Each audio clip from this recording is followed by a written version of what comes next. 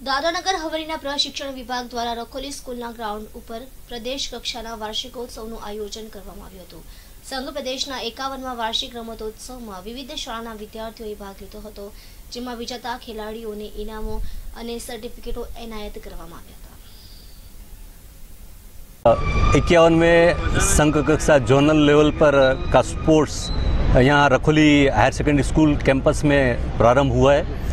जैसा कि प्रातः में हमारे deputy secretary sports Rakesh Kumar sir के आशीर्वचन और स्वहस्त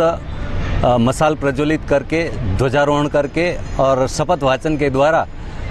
दादरा नगर हवेली की माध्यमिक उच्चतर माध्यमिक विद्यालय और प्राइवेट और ग्रांटीन एड स्कूल्स के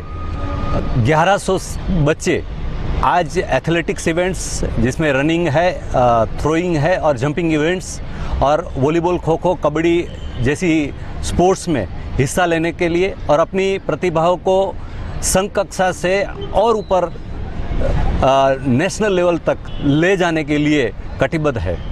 मैं आज सभी को शुभकामनाएँ देता हूँ। आने वाले समय में यही प्रतिभा हमारे प्रदेश का गौरव बढ़ाएँगे।